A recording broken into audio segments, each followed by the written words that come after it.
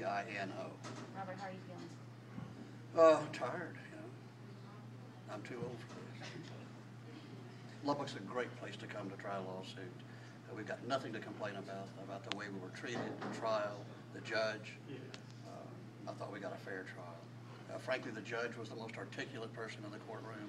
I thought his sentencing was spot on. I thought he articulated exactly what had happened and what needs to happen. I thought it was appropriate. Happy with? I, I thought it was just and appropriate. I, I thought the judge's rulings were spot on, and uh, uh, we don't have anything to complain about. Do you have a reason for why Craig Roberts decided not to testify today? Yes, but uh, probably wouldn't be appropriate for your uh, viewers to hear what I had to say about that. Can you give us an appropriate version?